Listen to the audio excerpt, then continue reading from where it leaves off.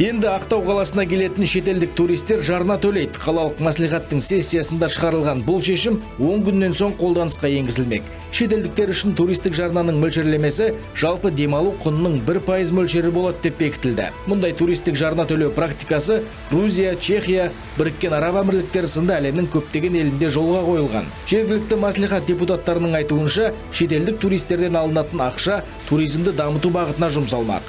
Соңғы кездері өңірге келетін туристер санының көбейгенін ескерсек, қазынаға әжептәуір қаржы түсуі мүмкін дейді депутаттар.